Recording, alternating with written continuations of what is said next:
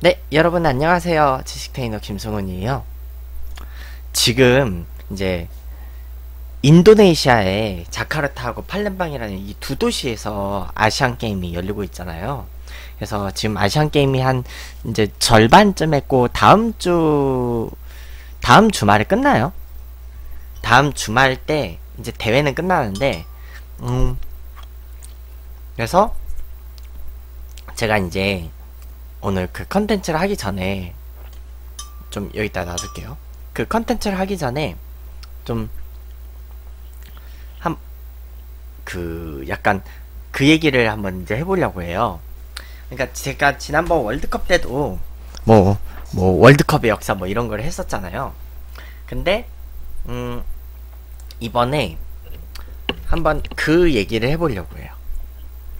한번 이 아시안 게임이 열리고 있는 인도네시아는 어떤 역사를 갖고 있는가 해서 좀 뭐 그냥 역사 이야기를 한 파트를 할 거고요. 한 시간만 할 거예요. 역사 이야기. 그리고 그 다음 두 번째 시간은 인도네시아의 특산품 있죠. 인도네시아의 특산품 중 하나가 바로 우리가 뭐 고급 커피라 여, 커피라 여겨지는 그 루악이라는 커피가 있어요. 그 루악 커피의 진실. 음, 참고로 이 루악 커피의 진실에 대해서는 제가 이따가 다시 한번 주의를 드리겠지만 식사 전후인 분들은 네 바로 그 뒤로 가기를 눌러주시기를 부탁드리는 걸로. 음. 하겠어요. 자, 그러면 좀 이제 개괄적인 이야기를 좀 해야 되기 때문에 그 일단은 한번 인도네시아의 역사를 한번 이야기를 해보도록 할게요. 자, 인도네시아의 국기는 이렇게 생겼어요. 단순하죠?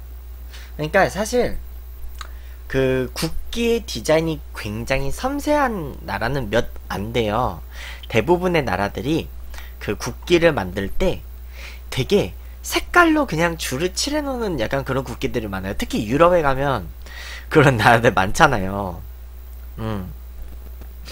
유럽에 가면 그런 나라들이 많은데, 그, 이제, 그래서 저는 그, 유럽의 국기들은요, 좀, 외워야 돼요.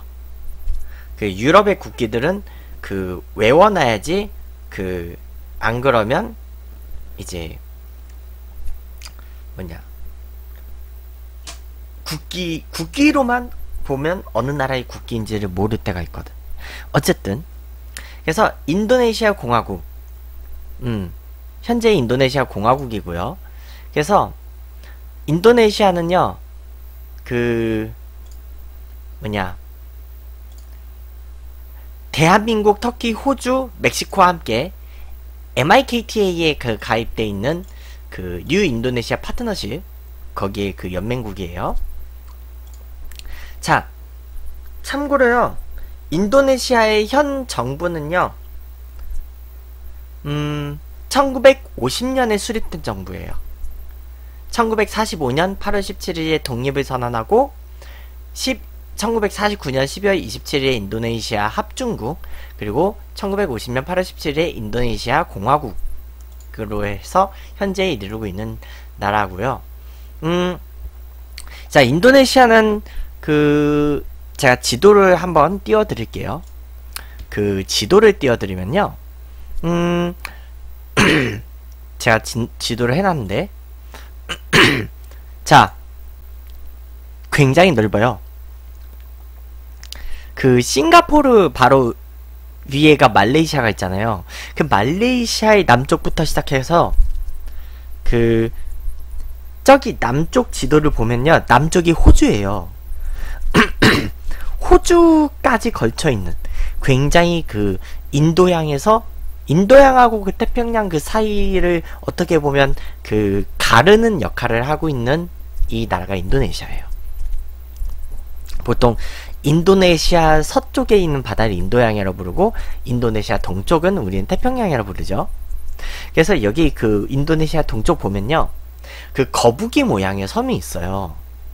그 거북이 모양의 섬을 딱 그 상체 부분만 딱 그 차지하고 있는 그 거기까지가 인도네시아고요. 민족 구성은요. 자와족이 40.2% 제일 많아요.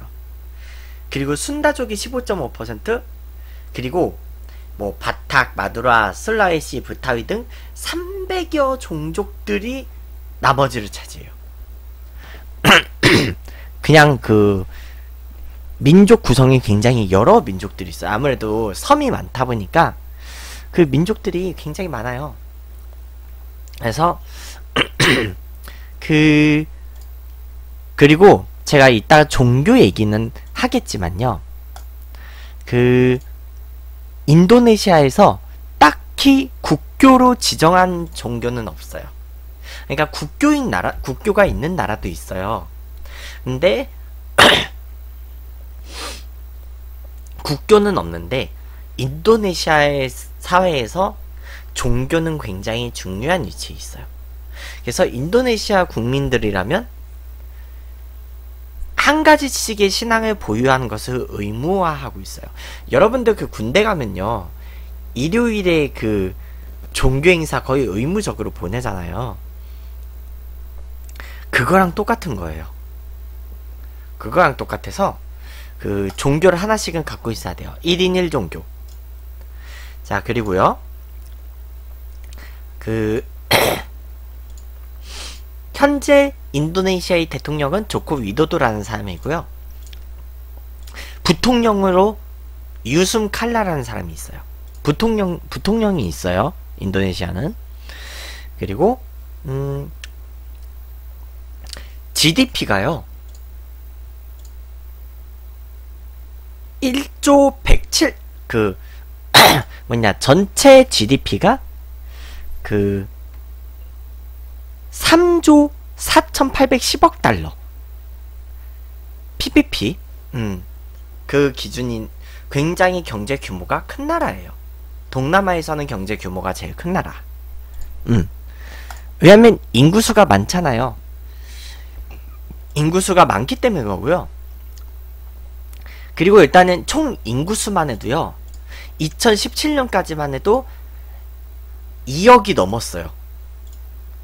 2억 6,399만 1,379명이 책정이, 측정이 됐었어요. 2017년 조사된 인구에 의하면. 이게 세계 랭킹 4위예요. 세계에서 네 번째로 인구가 많고요. 그리고 외교는 북한하고 더 빨리 맺었어요. 북한하고는 1964년, 대한민국하고는 1973년에 외교를 맺었고요. 그래서 그 인도네시아는요 세계의 모든 나라들 중에서요 섬을 가장 많이 갖고 있는 나라예요. 인도네시아 영토에 그 포함된 섬이 무려 18,200여 개가 넘어요. 그래서 나라 자체가 다도해예요. 그래서 그 동남아시아에도 속해 있고 오세아니아에도 속해 있어요. 하지만 각종 문화권 이런 거는 아시아로 포함돼서 나가고 있어요. 그 아시안 게임도 아시 그 출전을 하고 있고 이번에 개최까지 했잖아요. 그리고 월드컵도 아시아 소속으로 나가요. 그리고 인도네시아가 독립을 이뤄내기 전이기는 하지만 1938년 프랑스 월드컵 때 아시아에서 최초로 월드컵에 출전을 하기도 했어요. 물론 그때는 네덜란드령 동인도로 자치 주권은 갖고 있지 않았지만 자치 주권으로서는 1954년 대한민국이 최초예요. 자, 근데 이제요. 인도네시아라는 그 인도네시아라는 이름이 우리는 흔히 좀 세계 지리를 안 배운 사람들은 인도라는 나라하고 굉장히 많이 헷갈려요. 굉장히 많이 헷갈려 하는데 자, 그, 그 어원은요, 일단은 제가 좀 설명을 드릴게요. 그, 중세 때요, 중세 시대 때, 많은 섬들로 이루어진 나라라는 뜻으로 누산타라라는 용어가 있어요. 근데 이 누산타라는 요- 용어는 고어예요. 그래서 지금은 많이 안 쓰고요. 음, 인도네시아라는 국가 이름도요. 인도네시아가 스스로 붙인 게 아니고요. 그 유럽 출신의 지리학자가 인도네시아라고 붙인 이름이에요. 그 의미는 인도양에 있는 섬들 섬이라는 그 서- 다도해 그러니까 섬이 많은 나라라는 표현은 원래 네이시아라는 표현이 있어요. 그래서 한국 사람들 중에서 정말 인도가 인도네시아의 그 준말인 줄 알거나 그 인도하고 인도네시아를 헷갈리는 사람들이 있거든요. 그래서 원래 우리가 인도는요 한자어예요. 그리고 원래 그 인도는 그 영, 영어 영문식 명칭은 인디아거든요. 그리고 인도네시아는요 인도처럼 한자어로 만약에 부르고 싶으면 인니 인니라고 부르시면 돼요. 음. 이렇게 부르시면 되고요. 준말이에요, 근데. 인도네시아를 정말 한자로 표기를 하면요.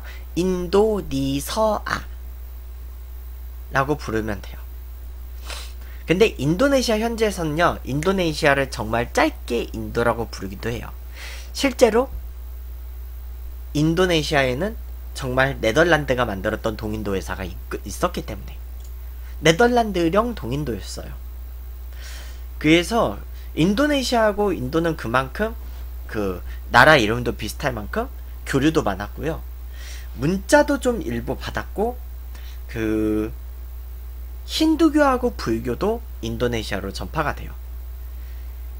그리고 이슬람교도 그 이쪽으로 전파가 돼요. 그래서 인도 문화도 좀 많이 남아 있어요.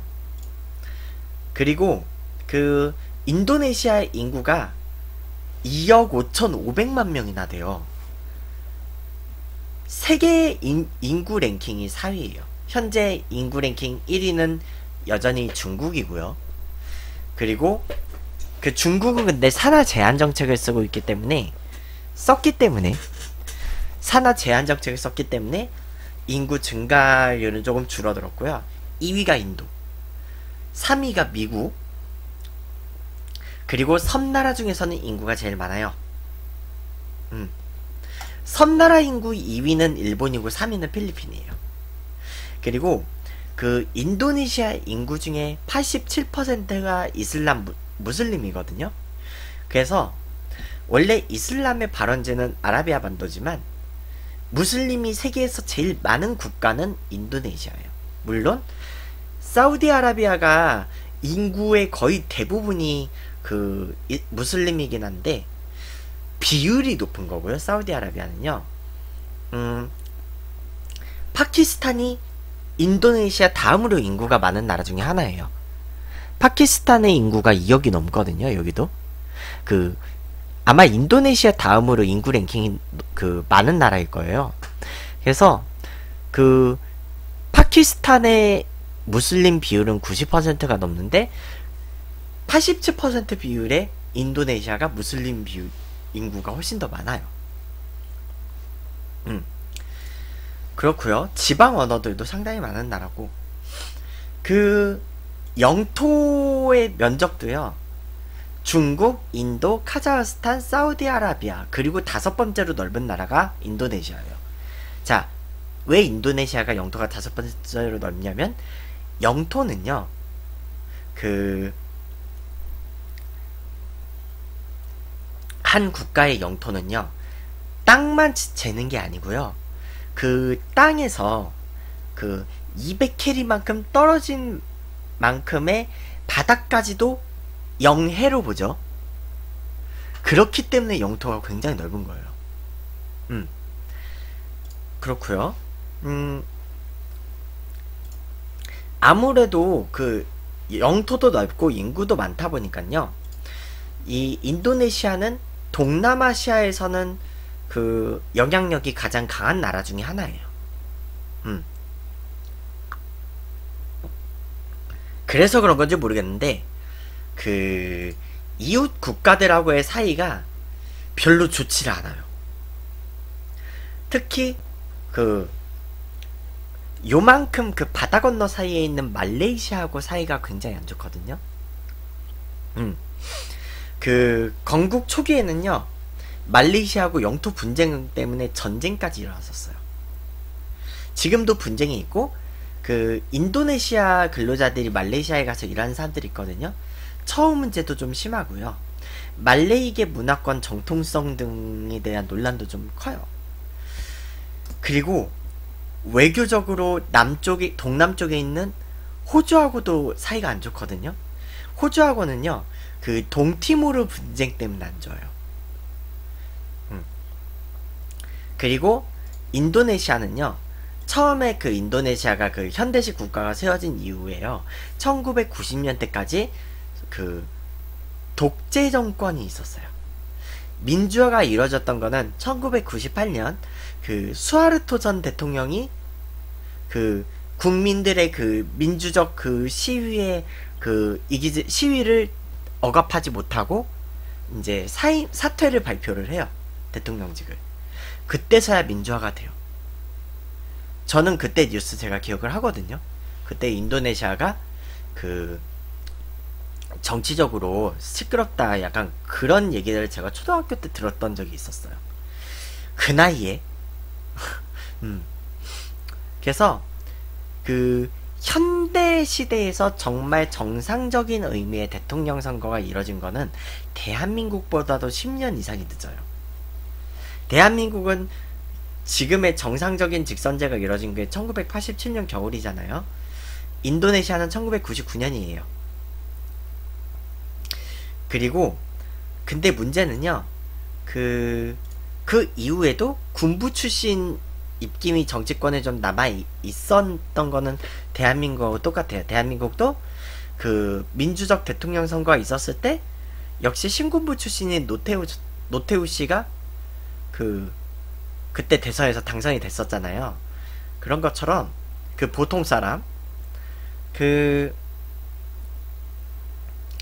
뭐냐 인도네시아도요 대통령 직선제로 정권 교체가 이뤄진 것은 2014년이 최초예요.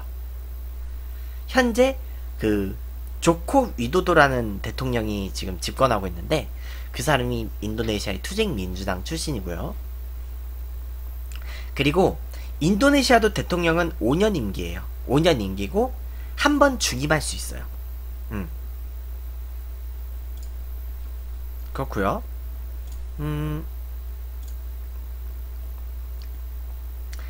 뭐냐?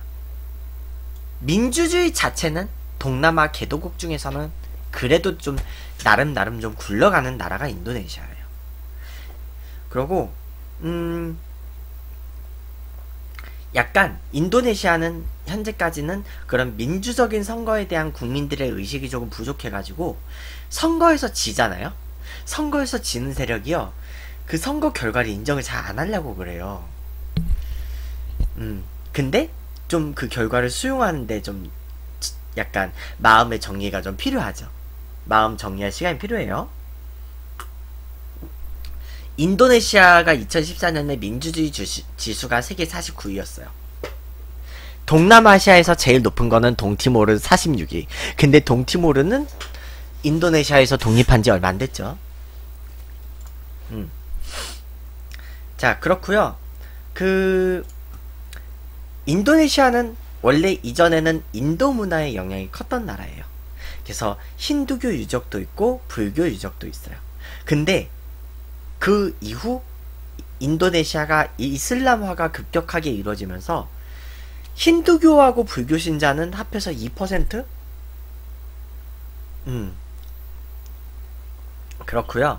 좀 뭐냐 약간 네덜란드 식민 통치 시기하고 군부 독재 시대에는요 이슬람 원리주의가 약간 좀 탄압하고 그 견제를 받아버리면서 다른 중동권 이슬람 국가들하고는 다르게 되게 세속적인 이슬람 국가예요.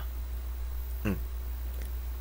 그리고 그리스도교 인구 비율도 은근히 많은 이유가 네덜란 인도네시아는 네덜란드의 식민지였거든요. 그래서 그 그리스도교로 개, 종한 사람들이 꽤 있어요.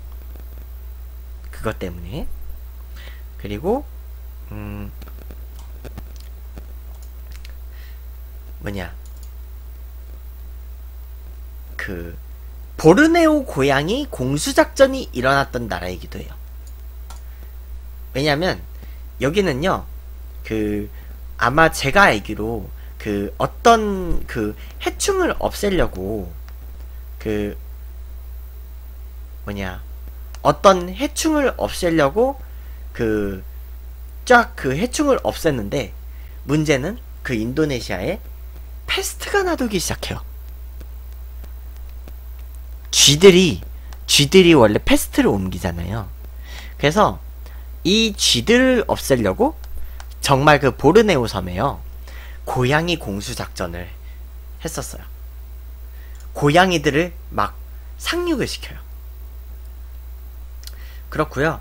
자, 인도네시아는요. 그 아시안 게임 중에도 아마 그 난리가 있었다 그러잖아요. 그 인도네시아에 지진이 일어났었어요. 음. 인도네시아는 지리적으로 환태평양 조산대하고 알프스 히말라야 조산대 알프스 산맥하고 히말라야 산맥하고 그 조산대 줄기가 같아요. 거기에 위치해 있어가지고 자연재해가 굉장히 그 빈번해요. 음.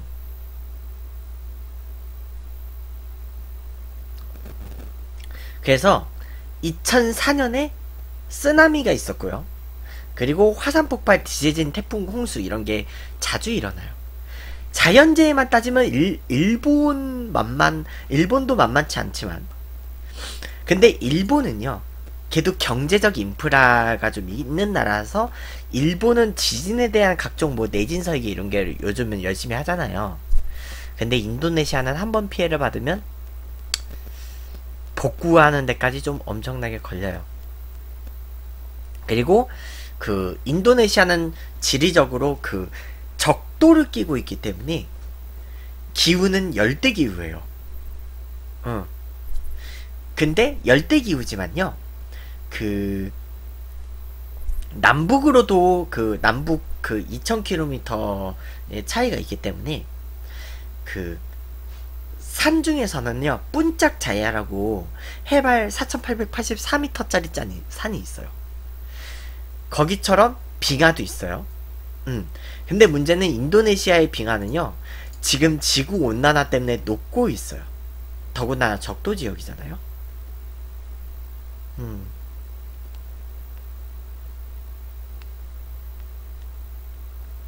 잠깐만요.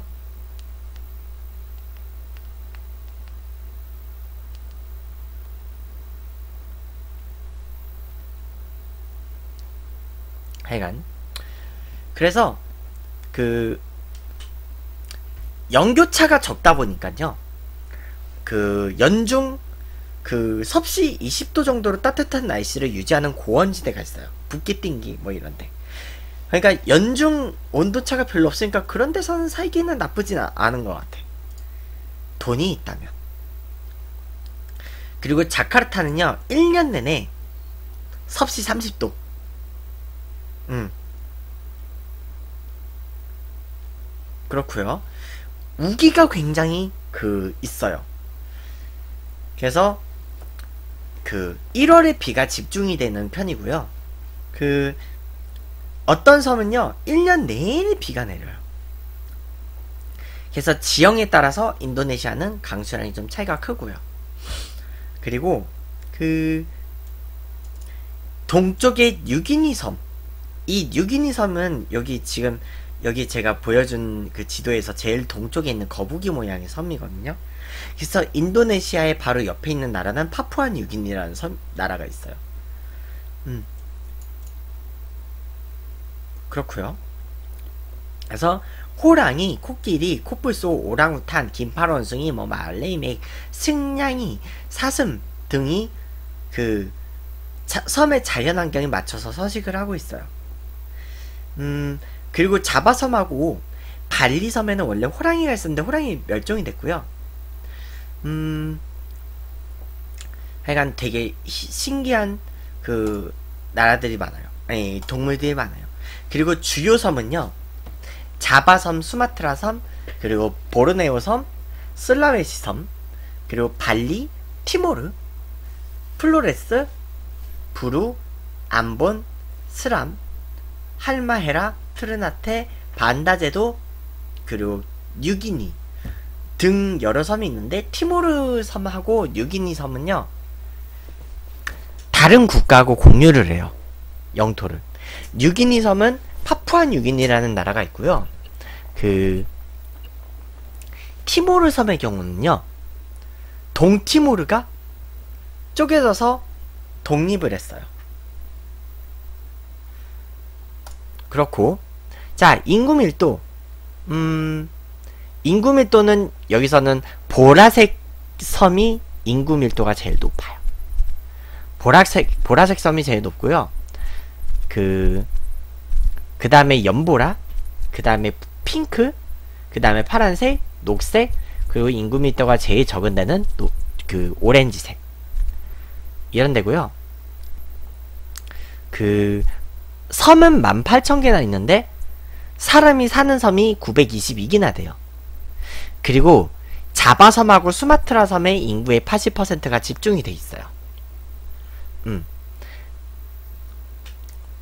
그래서 수도는 자카르타에 있고요. 그 세, 자바섬은 현재 세계에서 인구가 제일 많은 섬이에요. 근데 이 자바섬이 얼마나 인구 밀도가 높냐면요.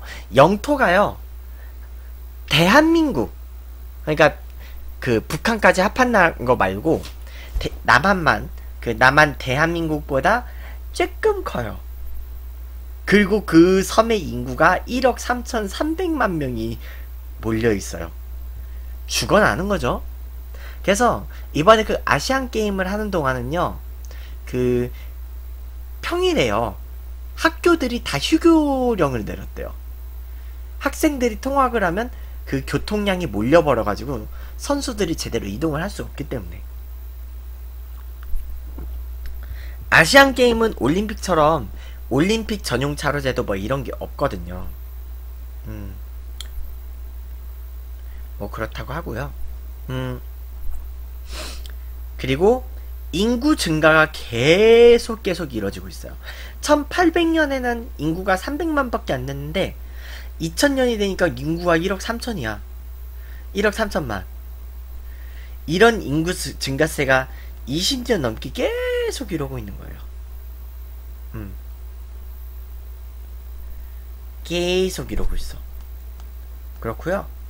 음. 더 놀라운 거는요. 외부적 요소가 개입되지 않은 자체적 인구 증가예요. 그러니까 인구 제한 정책, 어? 인구 그 증대 정책 이런 게 전혀 적용이 안 되고 그냥 사람들이 남녀가 서로 눈이 끌려서 서로 사랑해서 결혼해서 어? 막침 그 남녀가 몸의 대화를 막 이렇게 이렇게 이렇게 이렇게 나눠서 그래서 자연적으로 아기가 생겨서 가정을 이루고 그렇게 인구가 증가한 게 지금 이고, 이, 이 상황이에요. 음. 그리고 더 놀라운 건요. 다른 섬 사람들이요. 자바섬으로 이주하지 않았어요. 음. 그렇고요. 수마트라 섬은 남한 넓이의 4.5배나 되는데요. 인구가 5천만 명이나 돼요. 음. 그리고 칼리만탄 섬은 보르네오 섬이라고도 불리는데요. 그 여기는 전 세계에서 유일하게 세 개의 나라로 나눠진 섬이 있어요. 섬의 북쪽은 말레이시아하고 브루나이가 차지하고 있고요. 음. 그리고 그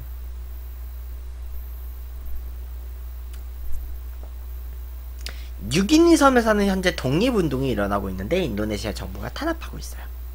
왜냐면요, 이 파푸아, 그이 파푸아 뉴기니 이쪽은요, 그리스도교 신자들이 많아요. 그래서 인도네시아의 다른 지역하고 좀 차이가 커요. 음. 인구 밀도가 호주의 3배 가까이나 돼요. 음. 그렇고요. 음. 중앙 정부의 행정력이 워낙에 안 좋아서 작은 왕국들이 막 예전부터 내려오는데 계속 잔존해 있기도 해요. 음. 그렇고 그 섬이 엄청나게 많고 그 동서아시아에 있는 주요 항로가 있고 지하 자원들을 수로로 수송을 해요. 근데 여기가 인도네시아 해역이 소말리아 앞바다보다 더 위험한 세계에서 가장 위험한 바다라고. 섬이 너무 많으니까 항해 자체가 힘들어요. 그리고 시간대는 3개가 있어요. 수마트라하고 자바섬 전체 UTC 더 플러스 7을 쓰고요. 칼리만탄 섬 동쪽은 그 UTC 플러스 8 그리고 뉴기니 섬 인도네시아 쪽은 UTC 플러스 9를 써요. 음. 그래서 인도네시아 동쪽 지역은요, 이 대한민국하고 시차를 같이 써요. 대한민국하고 시차가 같은 곳이 있어요. 근데 대부분은 대한민국보다 시차가 2시간이 느려요. 그, 서머 타임을 실시하지 않는 이유는요, 인도네시아는 적도에 있기 때문에요, 1년 내내 해돋이 시각하고 해넘이 시각이 거의 비슷해요. 음. 그렇고요. 그래서 그리고 인구는 세계 4위. 음. 하지만 국제적 존재감은 좀 떨어지고 있어요. 음. 영향력이 동남아에서만 제일 크기 때문에. 그리고요. 그 언어는 바하사 인도네시아라는 인도네시아 고유의 그 언어를 쓰고 있어요. 하지만 인도네시아는 표기 문자는 라틴 문자를 써요. 영어 영어 같은 거. 그리고 세계에서 섬이 제일 많은 나라다 보니까 만 만 몇천 개의 섬 중에 900 900개 이상의 섬에서 사람들이 살고 있고 그렇다 보니까 언어 생태계도 굉장히 복잡해요. 인도네시아에 정확히 몇 가지의 언어가 있는지가 정확히 밝혀지지 않았어요. 음. 그렇다 보니까 나라도 뭐 제대로 안 굴러가요. 그래서 인도네시아가요, 언어 통합 정책을 위해서 계속 노력을 해왔어요. 음. 해왔고요. 그래서, 음, 북부 수마트라 리아오 지역에서 사용되던 밀라유어를 바사 인도네시아라 칭하고 그 인도네시아의 현재 정식 국어로 채택을 해서 인도네시아는 지금 현재 표준어가 있어요. 음. 그렇고요. 그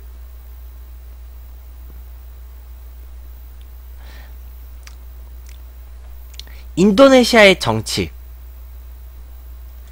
음 약간 그 그나마 동남아시아에서 민주주의가 어느 정도 시스템은 있는 나라가 인도네시아하고 필리핀이에요. 이 두 나라가. 음. 그리고 그 인도네시아의 현재 정부는요. 인도네시아 현대 정부 역사상 최초로 그 평화적인 선거를 통해서 그 전 대통령으로부터 정권을 위임받는 평화적 정권 교체를 2014년에 이루어졌어요. 음.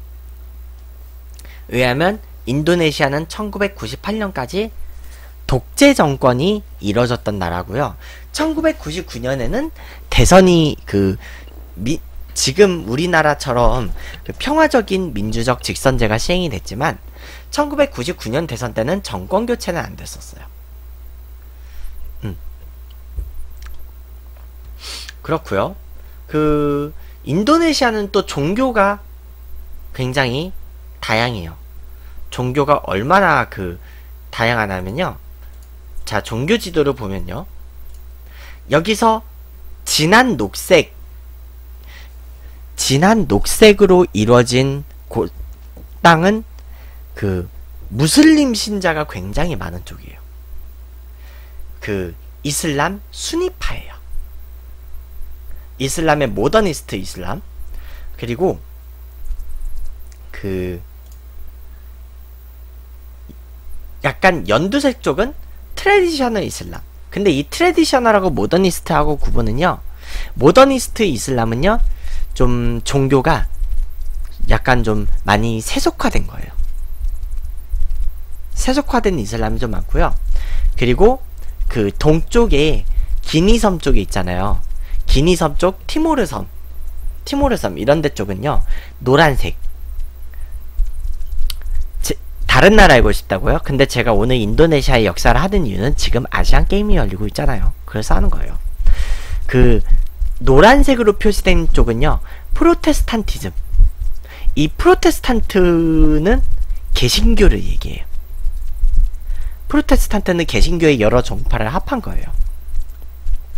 그 프로테스탄트라는 용어를 처음으로 쓴 사람이 마르틴 루터 그 루터교 만든 그 사람이죠.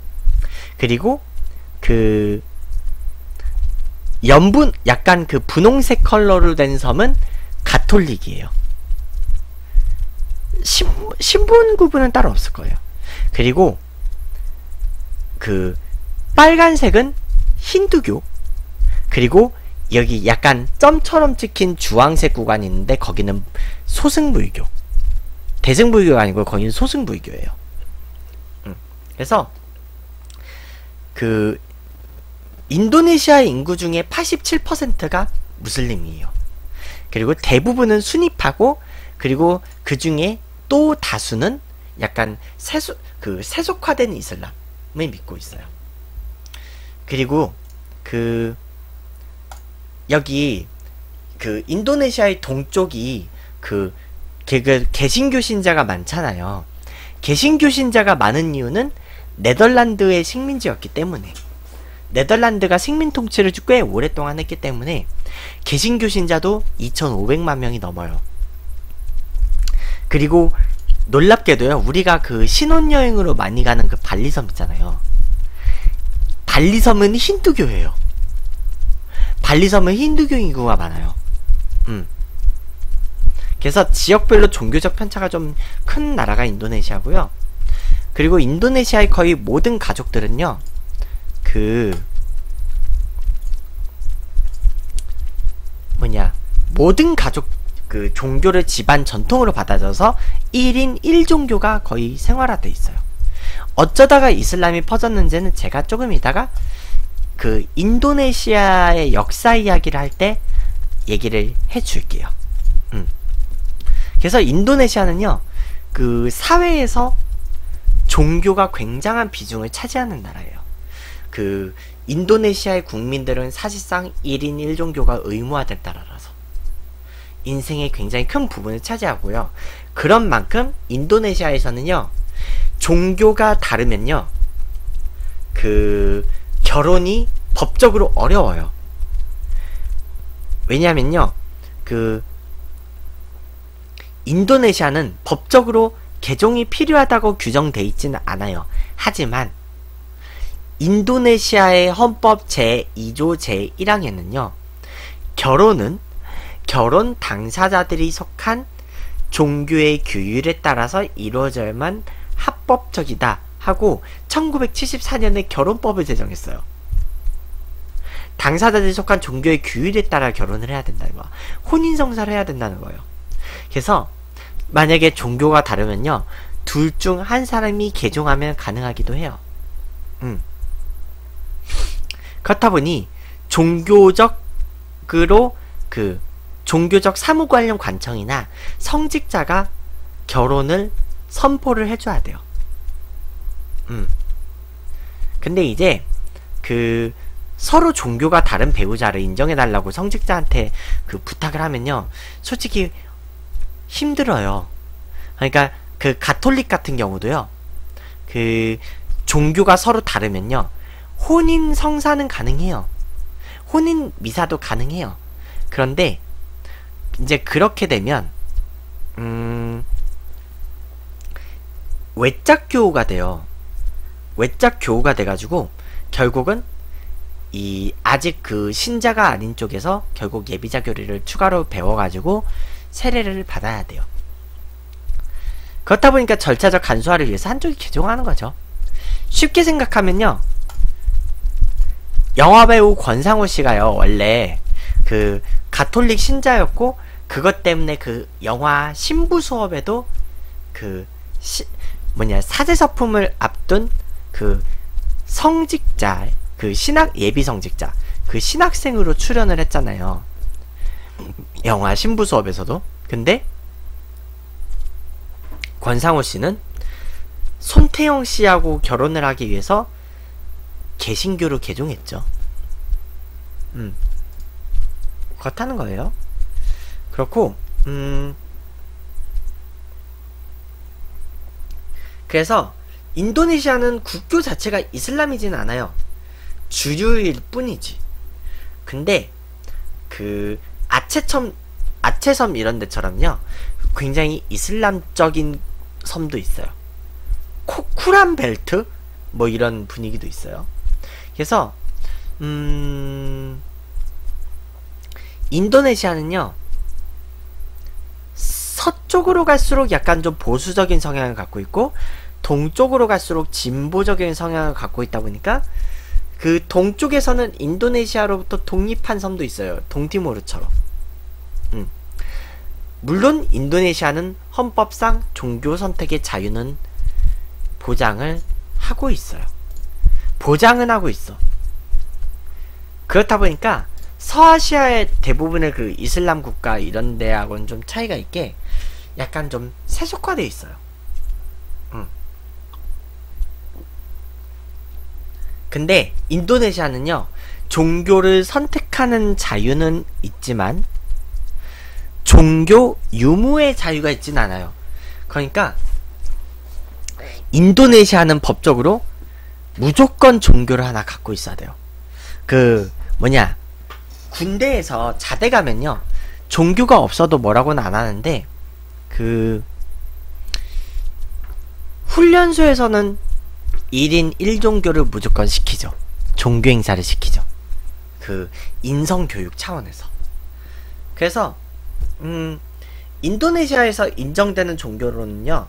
이슬람, 불교, 힌두교, 개신교, 가톨릭, 유교까지가 인정이 되고 토착 신앙도 종교로 인정을 하기는 해요.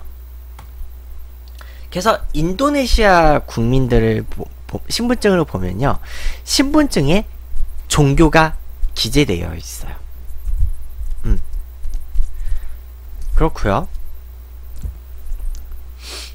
그렇고 그 건국 이념 중 하나다 하나가 일단 유일신에 대한 믿음. 음. 그렇고 그 어쨌든 그리고 동티모르가 현재 이제 독립을 했잖아요. 음, 동티모르가 독립한 이유 중 하나는요. 그 가톨릭 지역이 있어서 그래요. 동티모르하고 그 이웃한 안본섬이 있어요. 이 안본섬은 현재 포르투갈이 그러니까 이쪽 동티모르가 독립한 영향이 있는데 이쪽은 포르투갈이 가톨릭을 연파를 굉장히 열심히 한 쪽이에요. 포르투갈이. 그렇고요. 그 히잡 히잡을 강제로 쓰진 않는데 그 남편이 원하면 히잡을 착용해야 돼요. 음. 근데 인도네시아가 얼마나 그 이슬람이 세속화가 돼 있냐면요. 사우디아라비아나 이란하고는 달라요. 그 이란은 그 이슬람 시아파가 좀 약간 세력이 센데고 사우디아라비아는 이, 슬람의 본거지잖아요. 근데 이 두 나라하고 엄청 비교된 이유 중 하나가요. 인도네시아는요. 성문화가 상당히 개방되어 있어요. 그러니까 이슬람권 국가들 중에서는 인도네시아가 성진국이에요. 선진국은 모르겠는데 그러니까 동남아 쪽에서 경제적으로는 선진국이긴 한데 이슬람 쪽에서 보면 선진국이 아니고 성진국이에요. 성진 성진국. 음. 그래서 기차역 플랫폼 바로 옆에 매춘부들이 임시 숙소를 차리고 영업을 하는 경우도 볼 수가 있어요. 음. 그렇고요. 그리고 그 이슬람은 어떻게 되냐면요. 어떤 섬에서는요. 막 으- 음주 가무가 막 만연하고 예배법을 제대로 안 삼이 없는 나이롱 신자들이 좀 많아요. 음. 그래서 인도네시아에서는요. 그 예배를 집전한다는 그 이맘들이요. 기초적인 그 예배문을 못 외워요. 그 미사 통상문 이런 거 있잖아요. 이슬람 그 예배 그 기도문을 못 외우는 성직자들이 있다는 뜻이에요. 몰라 언어 언어 문제 때문에 못 외울 수도 있어요. 그래서 이슬람 교리에 따라 철저하게 사는 무슬림은 국민의 20배에서 30%밖에 안 된대요. 그래서 그 원래 라마단 기간에는요. 원래 라마단 기간에는 그 낮 시간에는 아무런 활동도 안 하고 기도만 하잖아요. 이슬람이 라마단이 낮 시간대는 계속 기도만 하고 이제 밤이 돼 해가 넘어가면 이제 각자 막 음식을 나눠 먹고 막 뒤풀이를 하는 막 그런 문화가 있는데 문제는 인도네시아 라마다 기간에는 라마단 기간에는 보편적으로 그 대도시에서는 굉장히 개방적이어가지고 낮에 뭔가 상점들이 영업을 해요. 물론 특정 지역에서는 낮 시간에 영업이 금지되는 경우도 있어요. 음. 그렇고요. 근데 이슬람이 이렇게 세속화된 원인에는요. 그 독재 정부가 극단주의를 탄압을 해서 그래요. 음. 이슬람 극단주의 정당들을 강제로 통폐합을 시켜버렸어요. 아니면 뭐 국정에 대한 발언권을 박탈을 시키고. 그래서 극단주의자들은요, 폭력적인 시위를 벌이든지, 아니면 뭐 다른 종교시설, 보로부드르 사원, 이런 데 그, 아니면 그, 막, 폭력 행위를 일삼았어요. 그런 식으로 저항을 했어요. 그렇고 그 최근에도 인도네시아는 국가가 지정하지 않은 종교나 신흥 종교들은 박해를 하는 편이에요. 박해를 하고요. 그 그래서 심지어 이슬람 중에서도 그 시아파 무슬림들에 대한 박해가 굉장히 심해요. 음. 시아파는 박해를 해요. 그렇고요. 그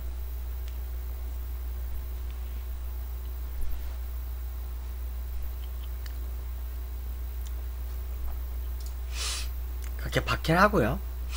그 인도네시아 정부는 또 나름 성진국이긴 한데 성 성진국이긴 하지만 혼외 성관계는 금지예요.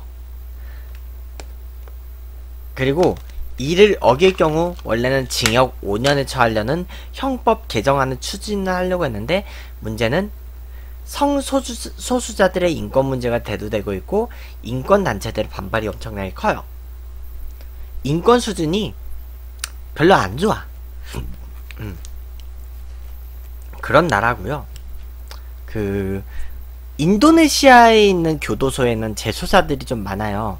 그리고 극단주의 양성소라는 약간 오명이 좀 있어요. 음. 그런 오명이 좀 있고요. 음, 잠깐만요. 음.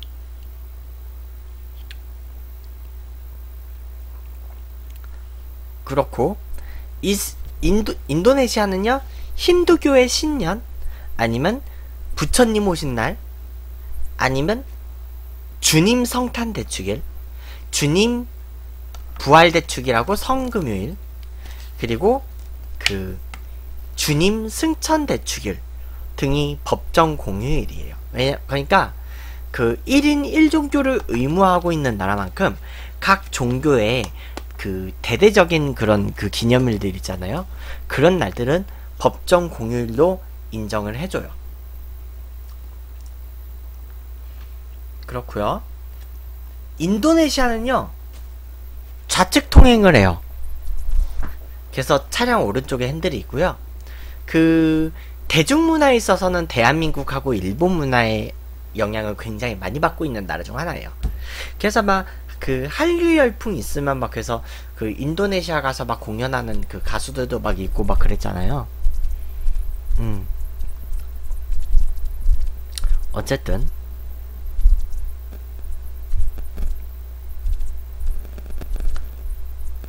그렇고 그 근데 문제는요. 대한민국하고 중국 등에서 방영하는 드라마들을요. 인도네시아에서 불법 DVD로 감상하는 경우가 꽤 있어요.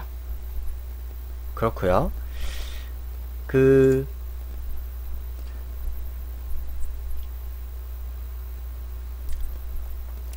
뭐냐 성문화가요. 서구적 관점에서 보기에는 굉장히 보수적인데 이슬람이 주류인 국가들 중에서는 성 이슬람권에서는 성진국이야. 성진국. 성소수자 단체가 동남아 최초로 1982년에 시작이, 시작이 됐고요. 1993년에 동성애가 합법이 됐어요. 음. 근데 현재도 2017년 5월 22일 자카르타에서 게이 파티를 했다는 이유로 141명이 체포된 적이 있어요. 음. 그리고 미혼 남녀의 성관계를 전면 불법화하는 형법 개정에 의회가 합의를 했었어요. 하지만 현재도 트랜스젠더 연예인들이 막 열심히 활동하고 있죠. 그렇고요. 음. 이따가 제가 좀 더 자세히 얘기를 하겠지만요. 인도네시아는 자바산 커피가 굉장히 유, 유명해요. 음. 그리고 맞아요. 그 세계 펌프 대회 월드 펌피러 페스티벌 있죠. WPF. WPF가 2016년에 인도네시아의 발리섬에서 했었어요. 그렇고 그때 그 대한민국은 퍼포먼스 부분에서는 그 KPF 참가팀이 네 팀밖에 없어가지고 그 퍼포먼스 쪽으로는 출전을 못했고요. 시드가 네 팀, 그, 시드가 안 주어졌어요. 최소 10팀이 나와야지 주어졌는데. 그, 여자분은 겨, 겨우 그 인원수를 채워가지고, 그, 시드가 있었고요. 그 남자분은 당연히 그 지역 예선부터 치를 정도로 시드가 있었어요. 남자분은 지역 예선부터 있잖아요. 그 일본의 그 판다산 팀 그 퍼포먼스 잘하는 팀 있잖아요. 그 팀이 퍼포먼스 부문에서는 그래서 우승을 했고요. 퍼포먼스 부문에서 그 일본의 판다산 팀이 우승을 했고 그 부부예요. 그 두 사람이 그 두 사람이 부, 부부라서 우, 부부 퍼포먼스 하는 팀인데 우승했고요. 그래서 그 예선에서 그 신앙 퍼포먼스 했고 뭐냐 결승에서는 그 설탕은 모론 퍼포먼스 하더라고. 그리고 그 남자부 스피드 부분에서는 삐뱀즈 윤상현 선수가 4강전에서 락다우스 W22가 걸려버리는 바람에 3등을 하고 말았어요. 락다우스가 나와버려가지고. 왜냐면 그때는 아직 그 윤상현 선수가 락다우스를 아직 정복을 못했을 때였어요. 그래서 그 이후로 그 윤상현 선수가 굉장히 그 한이 맺혀 락다우스에 한이 맺혀가지고 그 진짜 막 결국 그 락다우스 W22 올퍼펙까지 하더라고. 트위터에 올렸잖아요. 음.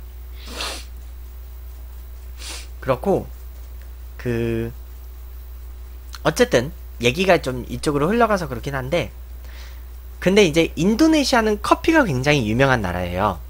특히 그 코피 루악이라고 불리는 루악 커피가 굉장히 유명하거든요.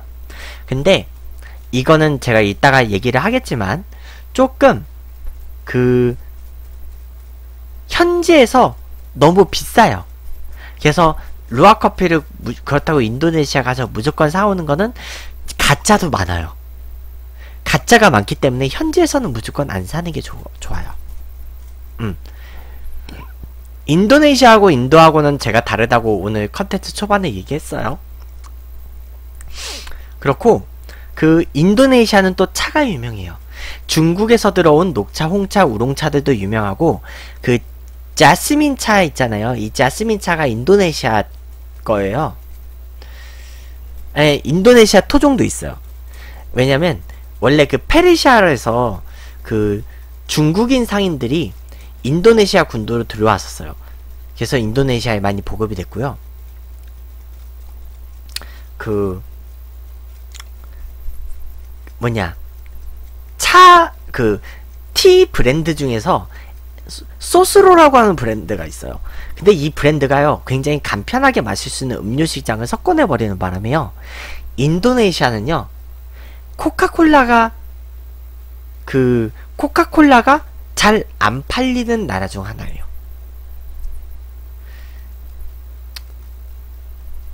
인도네시아의 청량 음료는 뭐, 뭐냐면요, 각종 전통 티에다가요, 그냥 백종원 씨 마냥 설탕을 그냥 들이다 들이부어요. 그걸 청량음료라고 해서 마셔요. 그 맨인 블랙 원에 나오는 그 바퀴벌레 외계인이 그 뭐냐 물에다가 그 설탕 엄청나게 타죠. 음. 그래서 그거 마시잖아요. 그 바퀴벌레 외계인이. 하여간 뭐 그렇고요. 근데 이 소스로라는 브랜드에서 생산하는 테버터이라는 그 제품이 있어요. 말 그대로 병에 들어있는 차인데 그 자스민 차를 좀 시원하게 해서 거기에다 설탕을 넣은 거예요. 요즘은 그 팩 형태로 많이 나오는데 그 콜라 500ml가 한국 돈으로 400원 정도예요. 근데 한국 돈 400원이요. 인도네시아의 그 루피아 화폐 기준으로는 3,950 루피아 정도. 물값이 물가가 우리나라보다 훨씬 싸다는 거예요. 음. 그래서 맥도날드 같은 데서어도요. 소스로 같은 그 청량차를 팔아요. 그리고 인도네시아는 그 미고랭이라는 그 라면이 또 굉장히 유명하죠. 그 미고랭 라면은 제가 먹어봤는데 개인적으로 제 입맛은 좀 아니었어요. 음. 제 입맛은 아니었고요. 그 배드민턴이 좀 세계 수준의 그 실력을 자랑하고 있어요. 그 1992년 때 배, 배드민턴이 바르셀로나 올림픽 때부터 정식 종목으로 도입이 됐는데 2012년 런던 올림픽을 제외하고는 그 인도네시아가 계속 금메달을 땄고요. 그 인도네시아는 또 축구가 인기 스포츠예요. 나름. 그 자주 독립 국가는 아니었지만 인도네시아는 1938년 프랑스 월드컵 때 월드컵 본선에 진출을 해본 적이 있어요. 음. 그리고 그 인도네시아의 스포츠 응원 구호는 막 대한민국 같은 약간 리듬이 비슷해요. 근데 약간 그 인도네시아 딱딱딱딱딱 인도네시아 막 이런 그 응원이 있어요. 그 여러분들 그 2016년 그 WPF 때 인도네시아 팀이 그 프리스타일 그 공연했을 때 그때 막 인도네시아 하고 그 응원하는 그 응원 구가 나왔었거든요. 그 궁금하시면 멘토민 김민우 씨의 그 유튜브 채널 가서 보세요. 참고로 WPF 그때 멘토민 씨가 가서 중계한 게 아니고 아마 그때 채널 부운영자였던 그 토비디 이태영 씨가 이태영 씨가 아마 그때 발리에 그 윤상현 씨 따라가가지고 아마 같이 중계한 걸로 알고 있어요. 음. 같이 따라가서 중계를 했고요. 그 무엇이냐?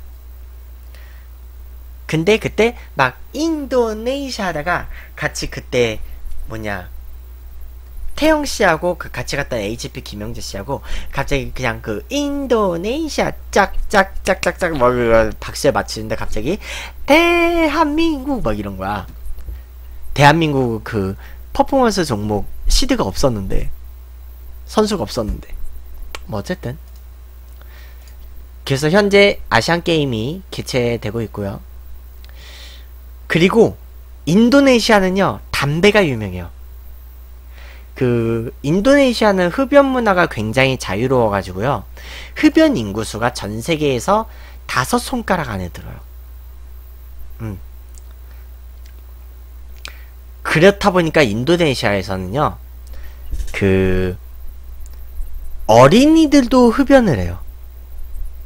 역대 세계 최연소 흡연자가 인도네시아 출신이고요. 그 담배 산업의 비중이 워낙 크다 보니까 정부 차원에서 규제를 못 해요. 음. 그래서 인도네시아 가면요. 교복 입고 편의점 가서 담배 주세요. 살 수 있어요. 대한민국에서는 안 돼요. 그리고 원래 이슬람은요. 술을 마시면 안 되잖아요. 근데 일부 지역을 제외하고는 굉장히 속세화가 돼가지고 이슬람도 술을 마셔요. 음. 그래서 인도네시아에서 지금 그 법안이 발의되는데 반발이 심한 발의, 그 법안이 있거든요. 발리를 포함해서 인도네시아 전역에 술을 금지시키자. 하지만 오히려 술이 금지된 지역일수록 인도네시아는 밀주를 제조를 해요. 근데 문제는 이 밀주 때문에 밀주가 굉장히 비싸거든요. 그리고 이거 밀주 마시다가 마시다 죽은 사람 있어요. 그래서 조심하셔야 돼요. 그 뭐냐 인도네시아의 아체, 말루쿠, 중부슬라웨시, 파푸아 이런 데는 2단계인 여행 자제 그리고 나머지 지역은 1단계 여행 유의로 분류를 되어 있어요. 그래서 주의를 해라 이건데 그 인도네시아에 있는 그 파푸아 뉴기니 그 옆에 그 뉴기니 지역 같은 경우는요. 남자 남자의 40% 48%가 강간을 저지른 경험이 있는 것으로 조사돼서 엄청난 충격을 받고 있어요. 음. 그렇고요. 매년 500만 명 정도가 인도네시아 관광을 와요. 특히 발리. 음.